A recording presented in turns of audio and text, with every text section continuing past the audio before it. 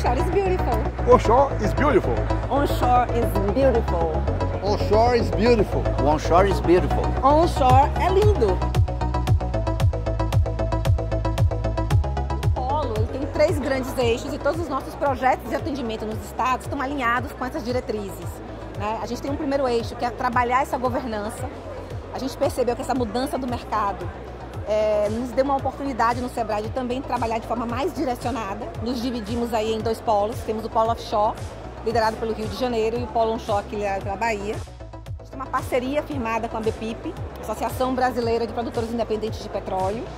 É, com essa associação trouxe 30 grandes empresas que são as suas associadas, dentre elas aí 20 operadoras e 11 grandes fabricantes do setor. Então foi a partir daí que surgiu a ideia de fazer esse trabalho junto com o Sebrae e a gente lá na informalidade diz que é o Tinder do petróleo juntar a demanda com a oferta e a partir daí, desse casamento, eles vão, desse encontro, eles vão decidir o que, é eles querem fazer, se vão casar e vão se continuar para sempre, ou se vão ter uma relação casual, se for o caso. Esse polo de referência ele vem justamente trazer as melhores práticas e facilitar essa interlocução entre empresas e fornecedores. O que é muito legal e, e, e assim, que deu um resultado muito positivo foi todos se unirem né, num único objetivo, ou seja, um onshore brasileiro passou a ser um foco. Antigamente o onshore estava concentrado em uma única empresa que era a Petrobras, né? E depois é, com os leilões e a, a, entrada dos produtores independentes é muito interessante porque no início você não sabia como isso ia prosperar. A gente é uma empresa de redesenvolvimento de campos, né? então a gente assume esses campos é, para aumentar a produção, aumentar reservas, fazendo o que a gente chama de redesenvolvimento, ou seja, aplicar novos programas de investimento a campos antigos. Então são programas é, que no total nós vamos investir no onshore cerca de 10 bilhões de reais até 2032. A Petroreconcavo é uma operadora de petróleo e gás no Brasil já com 22 anos de experiência. Eu tive o prazer de comunicar à governadora Fátima Bezerra de que nos próximos dois anos e meio em todas as operações, a gente tem uma expectativa de investir até 370 milhões de dólares, eu diria 45 a 50% desse valor aqui no estado do Rio Grande do Norte, contratando mão de obra local, contratando as empresas de serviço local e gerando capilaridade aqui na economia, que é o que a gente vê aqui nessa feira. A gente vai ter um, um aumento até 80% da produção. Não é impossível a gente voltar a produzir 100 mil barris. 100 mil barris indica que nós podemos criar um polo petroquímico do tamanho de 100 mil barris e ganhar dinheiro, porque esse é o negócio do pequeno. Nós trabalhamos todo o seu processo de qualificação, a inserção do pequeno negócio como fornecedor para grandes empresas, compreendendo toda uma estratégia é, que vai proporcionar desenvolvimento de novos conteúdos, desenvolvimento de novas formas de interagir com os operadores, com o Petro Supply Meeting, com o Petro Supply, uma plataforma que vai proporcionar ao fornecedor o acesso de forma mais rápida às oportunidades de mercado. Eu acho que um encanto do petróleo, costumo até brincar que onshore é emprego e conteúdo local na veia.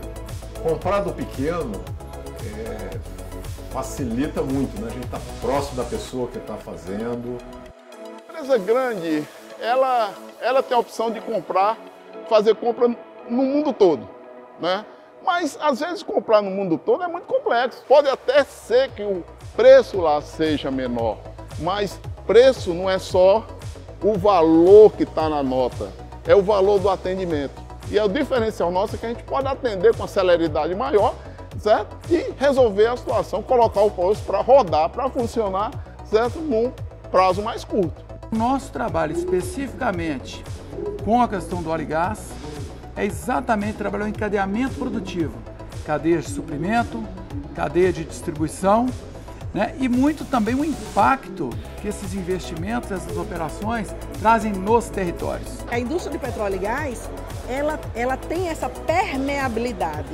Né? Ela atinge o fornecedor, o fornecedor de serviço, o fornecedor de suprimento, ela atinge também toda a comunidade, as pessoas são empregadas naquela comunidade, são distribuídos royalties para aquela comunidade, são distribuídos impostos em cima desse trabalho.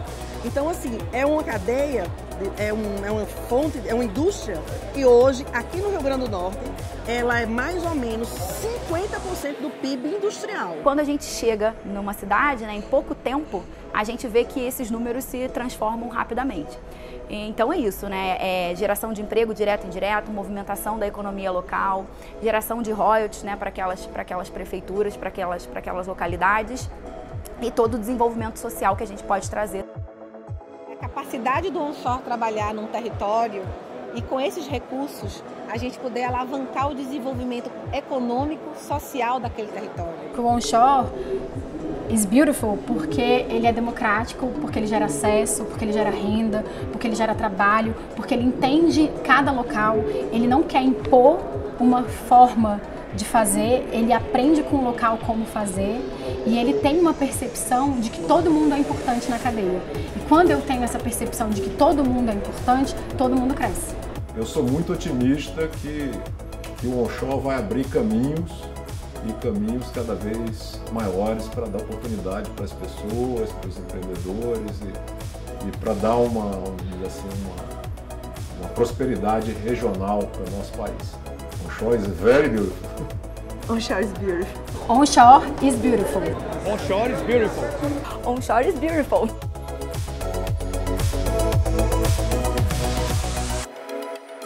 Criar o futuro é fazer história. Sebrae 50 anos. A força do empreendedor brasileiro.